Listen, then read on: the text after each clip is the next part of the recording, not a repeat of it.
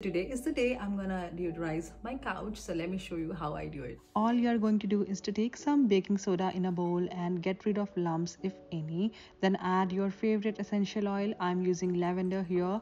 Add few drops of it and mix it until it's well combined. And then spread a generous layer of prepared mixture evenly over the entire surface of the couch. You wanna allow the baking soda to rest and absorb the odors for 30 minutes to an hour. And then you're going to use your vacuum cleaner with its upholstery attachment. Vacuum up all the baking soda powder from the entire surface of the couch and the cushions. That's all. Not only it will allow your couch look great, but it will also smell great.